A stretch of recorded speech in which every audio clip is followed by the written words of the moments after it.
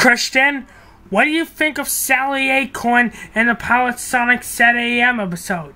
If you do, you can pick a character to to make it look like that.